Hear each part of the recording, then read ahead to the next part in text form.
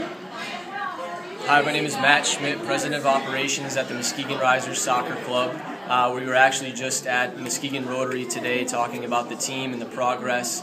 Uh, from a player personnel perspective, we are almost at uh, our full roster, have a lot of great signings uh, that are excited to come play for us. Uh, coaching staff is in place. Uh, season tickets went on sale last Friday for $39 for 10 home games.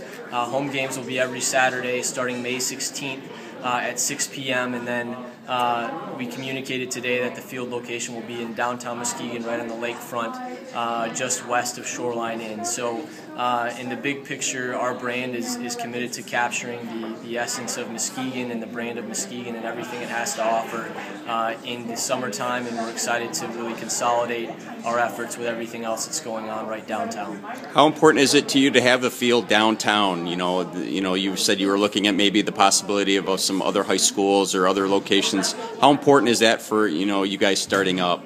It, it, shows the community that we're committed to Muskegon, uh, and we're committed to collaborating with businesses who are also excited about developing downtown. Uh, anytime you can create a, a, fan experience versus just a game, uh, that's really when professional sports become exciting. So uh, for an example of what somebody might do, they might go to the farmer's market in the morning, early afternoon, then grab a, a, quick bite at a local restaurant, maybe head to the beach for a little bit, and then they'll know uh, on that Saturday evening they can swing back through downtown uh, and they'll be able to catch a riser soccer game right on right on the lake there. And you said 10 home games this year? 10 home games.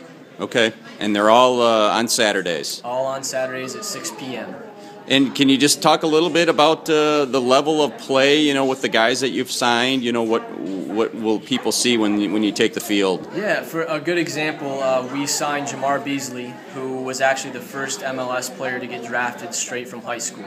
Uh, now Jamar, uh, he this that was probably 15 years ago, so he certainly uh, had his fair share of experience. Uh, but that said, these guys are good and they're they're professionally minded, and it'll be an exciting product to watch on the field. Coaches are are very committed to training these guys and maximizing their potential.